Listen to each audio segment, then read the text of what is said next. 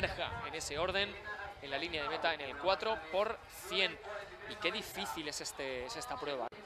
Ahí tenemos de nuevo a Belén Montagut, atleta de Valencia Sports. Velocista, valenciana. Mismo quiere sumar, ¿no? Para ganar también el 4 por 100. Entonces realmente eh, influye mucho la confianza que tengan entre sí las atletas. ¡Qué tiempo!